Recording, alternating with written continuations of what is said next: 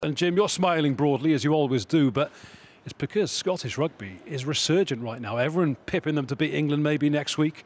The two uh, regional sides going great guns in the URC. Are you riding this same wave of optimism?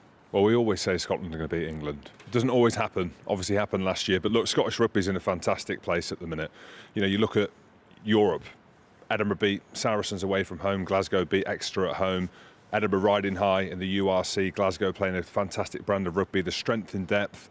And sometimes it is easy to get carried away, but you have to look at it at face value. You know, Scottish rugby got left behind a few years ago. It feels like now we're building a real momentum, not just going to the Six Nations, but some long-term sustainability. So, yeah, Scotland rugby in a fantastic place. You can be a little bit more objective, I guess, Shane. Are you, are you sensing the same degree of optimism that a lot of Scottish fans certainly are? Yeah, why not? Um, certainly club level, Edinburgh proven they're, they're worth top of the league, playing some fantastic brand of rugby. I think Mike Blair's done a great job there and they look like a team full of confidence. Glasgow also play some uh, a nice brand of rugby I enjoy watching.